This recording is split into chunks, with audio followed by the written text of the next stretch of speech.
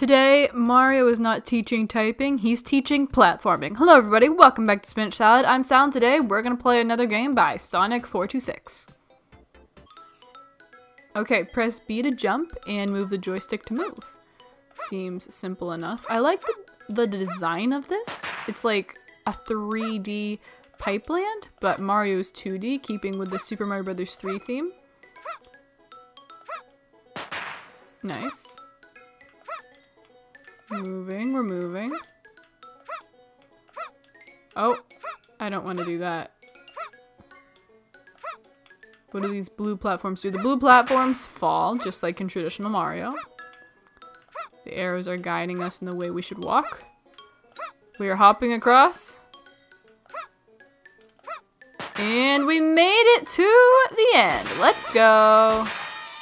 Hi.